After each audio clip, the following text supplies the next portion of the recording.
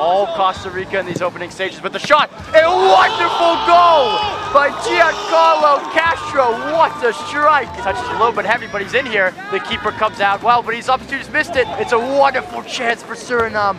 Galde is in, 1v1 with the goalkeeper. Can he finish? And it's hit the bar, it's gone down, and it's a goal.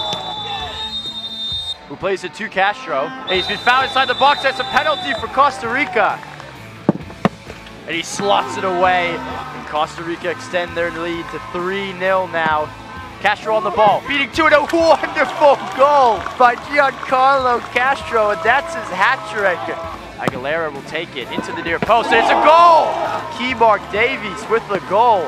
Alvarado's into the box here with the opportunity to hit a shot, and it's a sixth goal. Group D action, Costa Rica six, Suriname nil.